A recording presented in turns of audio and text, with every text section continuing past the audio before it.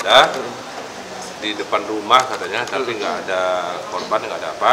Itu sedang diselidiki. Jadi Pak Polda udah ngasih tahu sama saya, eh, dan saya akan memantau Pak melalui Kapolda. Ya, Himbauan untuk masyarakat, Pak. kepada masyarakat ya kan dari dulu saya menghimbau tolong apa harus hati-hati. Kalau memang ada pendatang baru, kalau memang mencurigakan, lapor kepada RT, RW atau kalau di sini apa namanya? Dusun, desa, apa? Masih RT. Masih RT ya?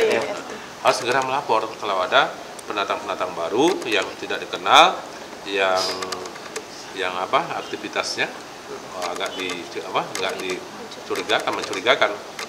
Biasanya kalau orang-orang jarang orang yang melakukan itu orang yang asli di sana. Orang asli di sana mungkin ada di tempat lain. Oleh karena itu kewaspadaan itu terutama terhadap pendatang-pendatang baru.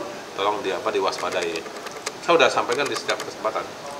Jadi wartawan juga tolong ini kan. Jadi mudah-mudahan nggak ada korban. Eh, dan menurut Kapolda tadi memang ada itu memang ini apa sejenis bom. Ya. Baku, sedang. Ya kita menunggu apa perkembangan dari Pak apa, Pak Kapolda.